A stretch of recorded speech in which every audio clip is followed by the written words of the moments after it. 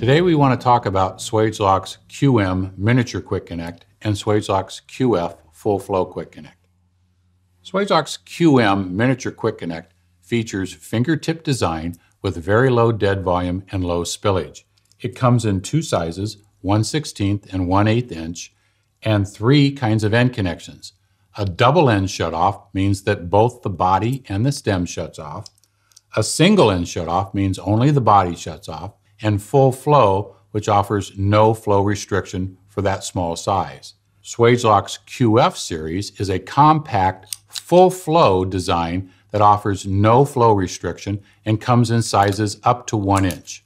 Swagelok's QM Miniature and Swagelok's QF Full Flow Quick Connect are two quick connects that help make your job easier.